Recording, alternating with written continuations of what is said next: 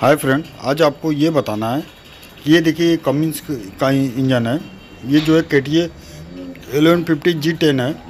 इसमें आपको ये बताना है कि इसमें देखिए, ये फ्यूल रिटर्न लाइन से जो है। एक तो ब्लैक कलर का डीजल डीजल आ रहा है और साथ में जो है, इसमें स्मोक भी आ रहा है। तो ये हम आपको अभी आपको इसका जो है लाइव वीडियो भी दिखा रहे हैं।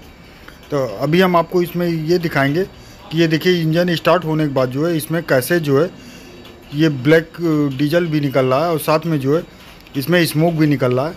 तो इसमें आपको ये बताना है कि एक्चुअल में प्रॉब्लम क्या है। तो आइए हम आपको आपको ये लाइव वीडियो भी दिखा रहे हैं।